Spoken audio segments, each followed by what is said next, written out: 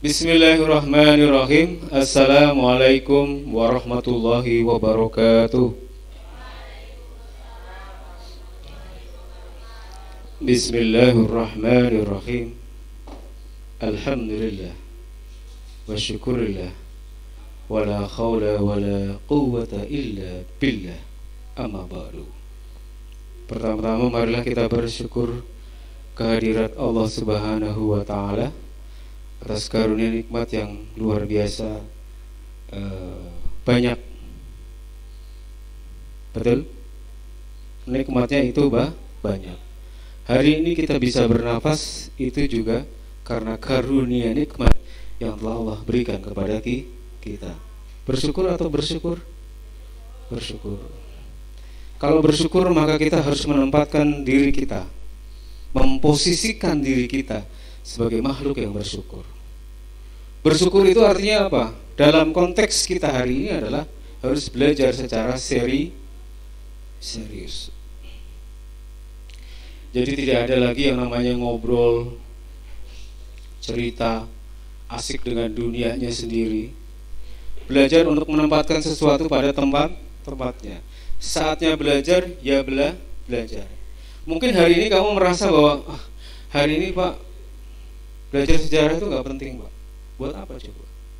Tapi suatu hari ketika waduh saya sekarang ditempatkan sebagai orang sebagai anggota KPU saya harus menjelaskan tentang sejarah pemilu. Itu belajarnya dari mana? Dari PPKN dari sejarah sejarah. Kalau tidak tahu blank waduh waktu itu kenapa aku pas diskusi nggak baca itu namanya tahap-tahapan di dalam pemilu? Ditanya sama komisioner KPU nggak ngerti loh anda gimana anda kan seorang pengawas.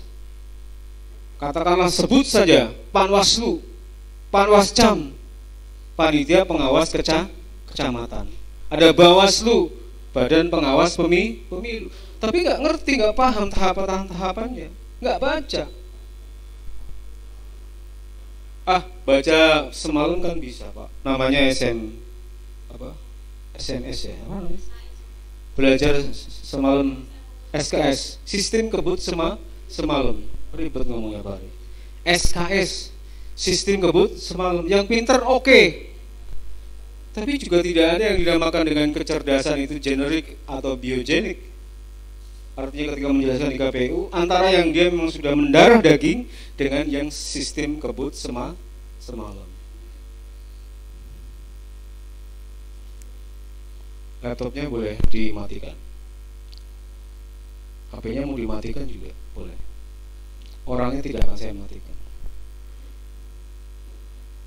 Ya, baik kita akan segera mulai. Tema kita hari ini adalah berbicara tentang Muhammad Hatta.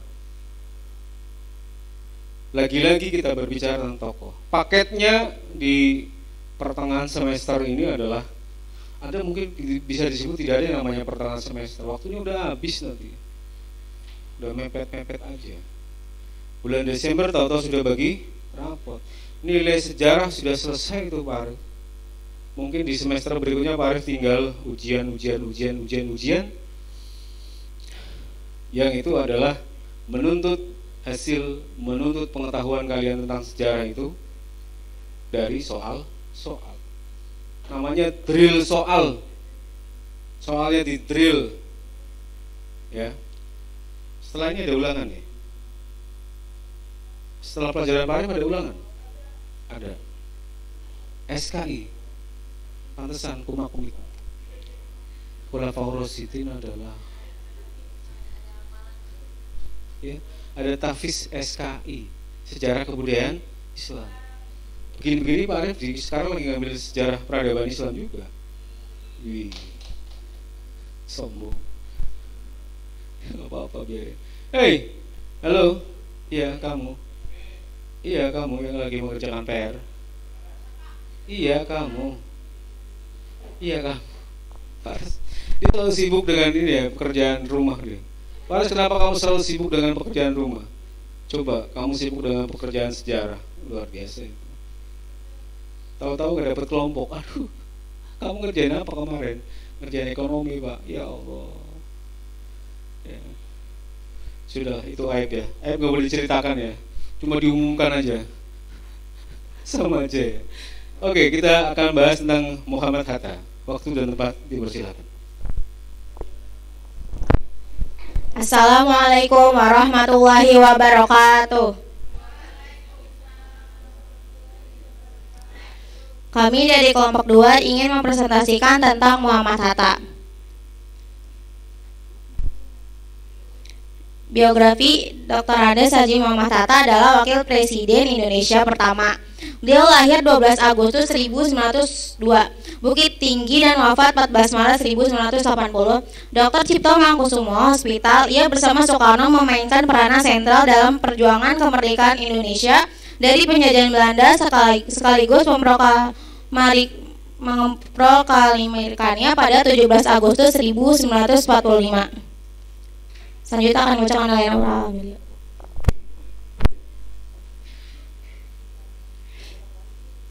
Dr. Handes Muhammad Hatta memiliki peranan sebagai berikut. Yang pertama, Wakil Presiden Perdana Menteri dan Menteri Luar Negeri NKRIS tahun 1949 sampai 1950.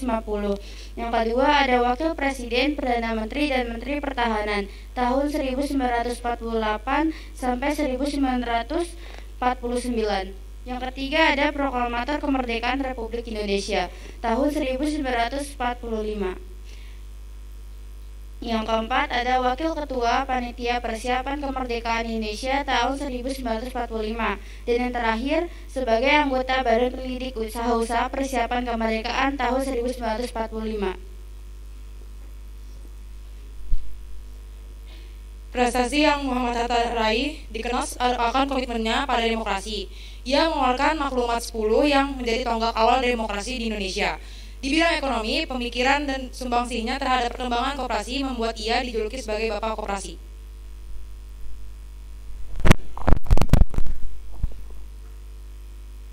Kisah inspirasi Sosok Muhammad Hatta merupakan sosok yang gemar membaca buku. Hatta bukan seorang pembaca yang di dogmatik, tapi dia membaca dengan kritis. Dari bacanya itu, Hatta memetik beberapa hal yang berguna untuk bangsa. Dengan membaca akhirnya mereka bisa memahami apa bedanya dijajah atau tidak dijajah. Hatta pernah mengatakan, aku rela di, penjara asalkan bersama buku. Dengan buku aku, aku, aku bisa bebas. Quotes Menegakkan kedaulatan rakyat adalah mendidik rakyat supaya tahu berpikir, supaya tidak lagi membebek di belakang pemimpin-pemimpin, supaya keinginan rakyat akan hak dan harga diri bertambah kuat dan pengetahuan tentang hal politik, hukum dan pemerintahan bertambah luas. Hikmahnya, Bung Hatta memiliki jiwa kesatria, yakni kebesaran hati yang tidak mengandung balas dendam. Seorang yang berjiwa kesatria berani membela kebenaran dan melawan kejahatan. Pada saat yang sama, ia juga ber besar hati dan mengakui kelemahannya.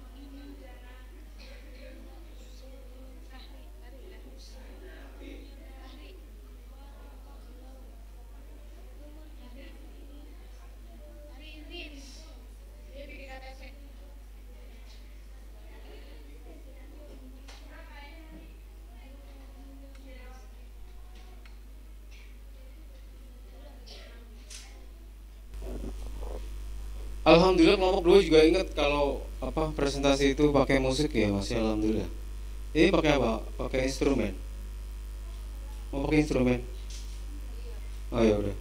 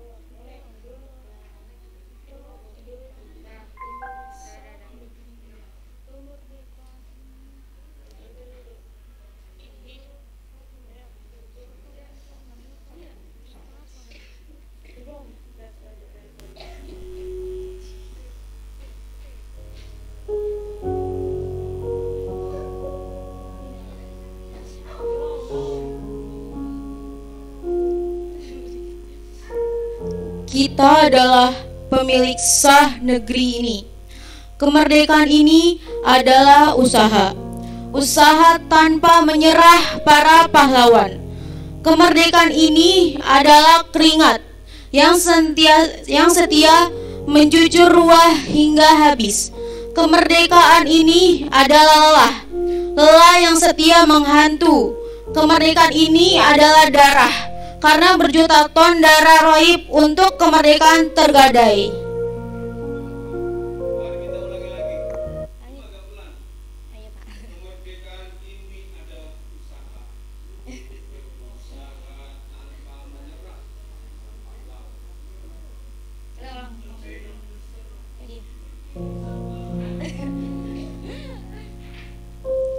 Kita adalah pemilik sah negeri ini.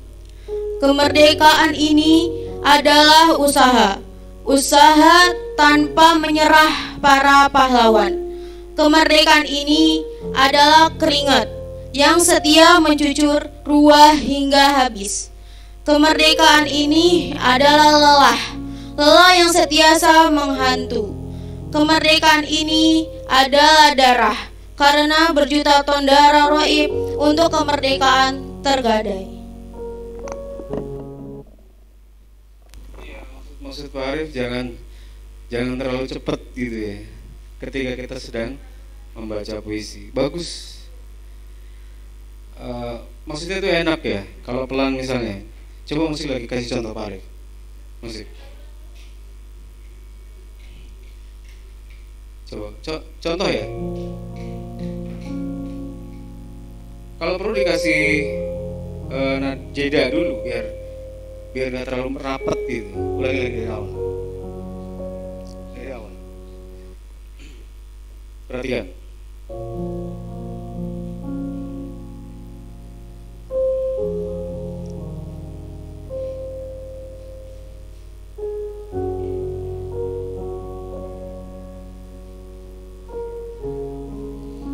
Kita adalah pemilik sah negeri ini.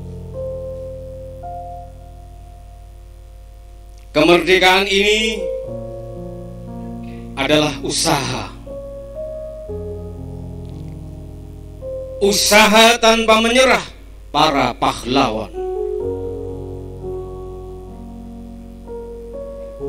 Kemerdekaan ini adalah keringat yang setia mencucur ruah hingga habis. Kemerdekaan ini adalah lelah, lelah yang setia menghantu. Tapi kemerdekaan ini adalah darah. Karena berjuta ton darah raib untuk kemerdekaan tergadai. Sambil lirik begitu ya. Boleh tepuk tangan. Sudah. Mau coba lagi ya? Boleh, boleh nggak apa-apa. Ya kalau dia kan penyuka, penyuka sastra, sastra ya. Kalau penyuka sastra biasanya dia pengen baca-baca, nggak apa-apa.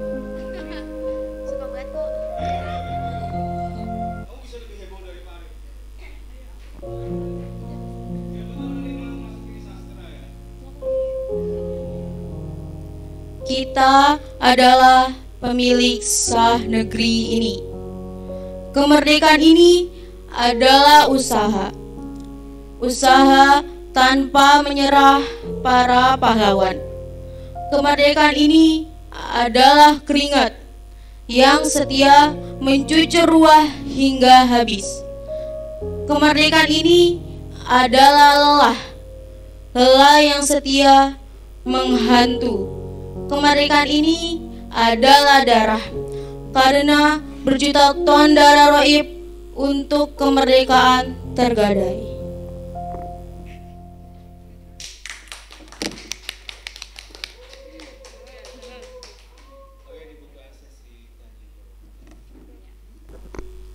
Sekian presentasi dari kelompok kami. Apakah ada yang ingin ditanyakan? Ya silakan Bika.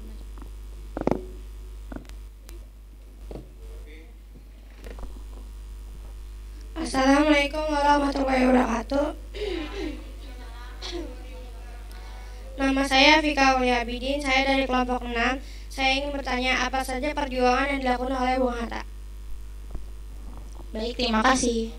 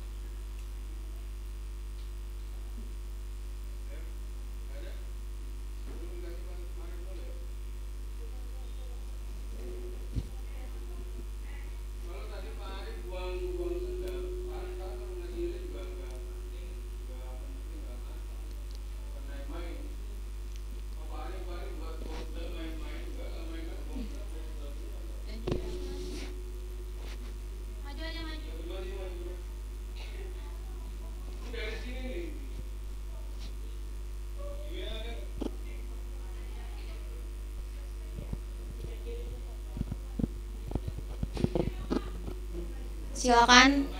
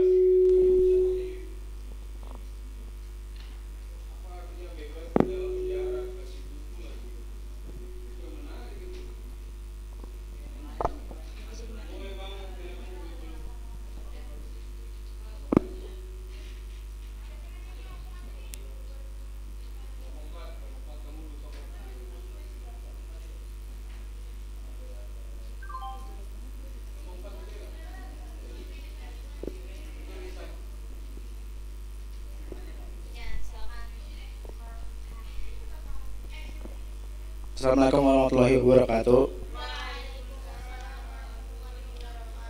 Saya Harfi dari kelompok empat ingin menanyakan di situ kan di apa namanya di kertasnya kan menempelnya kan ada tulisan dogmatik ya itu definisi dogmatik itu apa? Ya.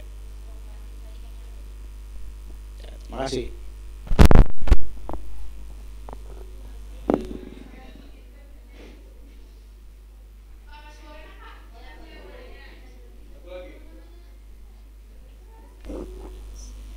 Assalamualaikum warahmatullahi wabarakatuh. Saya Rahmanur Syahfa dari kelompok 5. Peran apa yang pernah dilakukan oleh Muhammad Hatta untuk memperjuangkan rakyat Indonesia?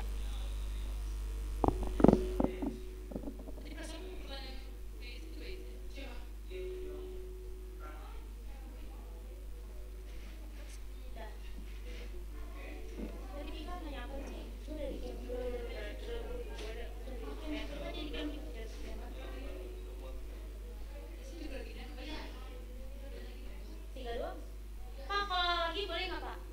Ada pertanyaan lagi? Tiga doang.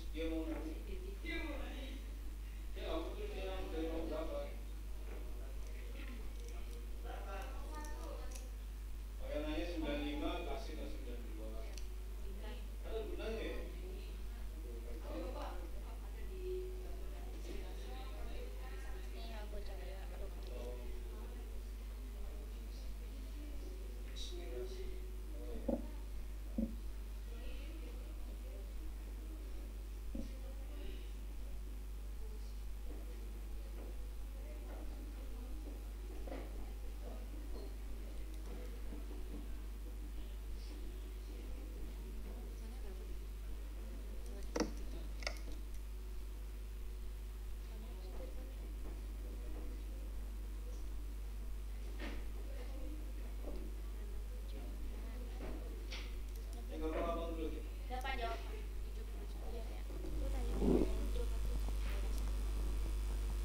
Saya akan menjawab pertanyaan dari Harvey. Eh, definisi dogmatik ya kan. Dogmatik adalah hal tentang ajaran serta keyakinan agama atau kepercayaan yang tidak boleh dipersoalkan atau harus diterima sebagai suatu kebenaran.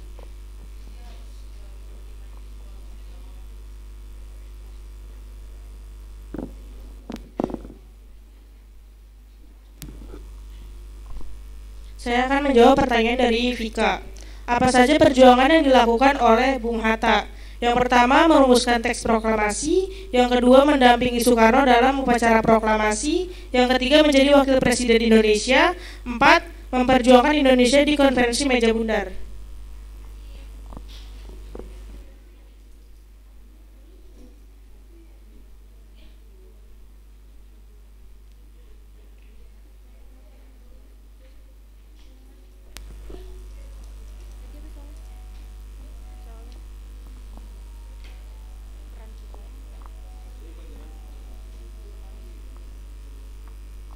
Saya akan menjawab pertanyaan dari Rahmanul siapa.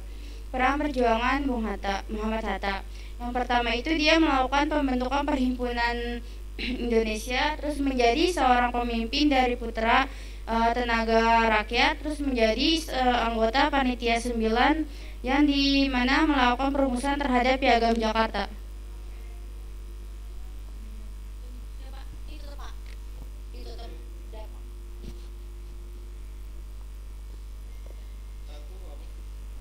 kedua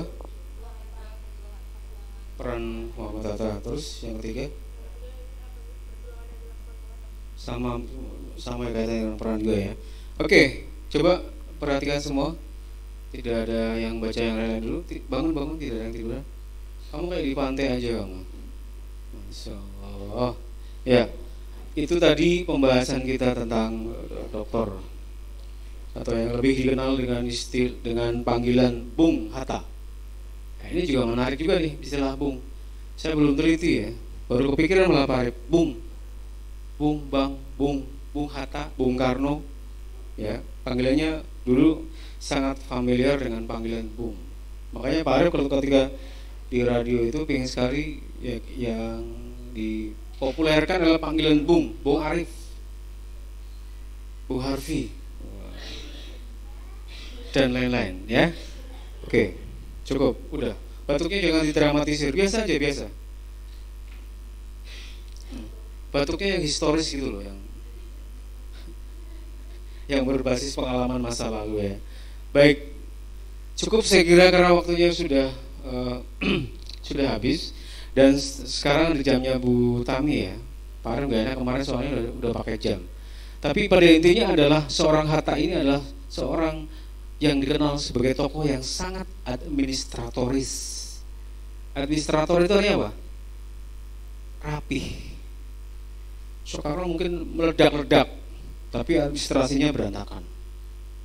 Kalau Hatta, dia rajin, kayak seorang akuntan, ekonom. Tapi dia nggak sekedar ekonom, dia adalah seorang pemikir. Makanya dikatakan di situ bahwa uh, Hatta pernah berkata, tadi yang dibaca ya, Aku rela di penjara asalkan bersama buku. Sampai-sampai di penjara pun dia rela asal bersama bu buku. Dengan buku aku bisa be bebas. Banyak tokoh yang kemudian dia menulis karya di dalam penjara, penjara.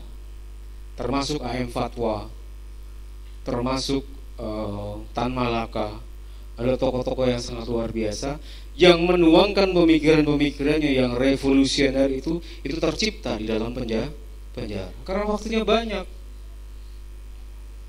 kan persepsi tentang penjara itu setiap orang itu berbeda kamu jangan kira bahwa ada orang yang di selamanya nggak suka dengan penjara ada orang yang justru suka dengan penjara penjara karena dengan penjara itu dia mendapatkan karya bisa mencipta sebuah kar karya.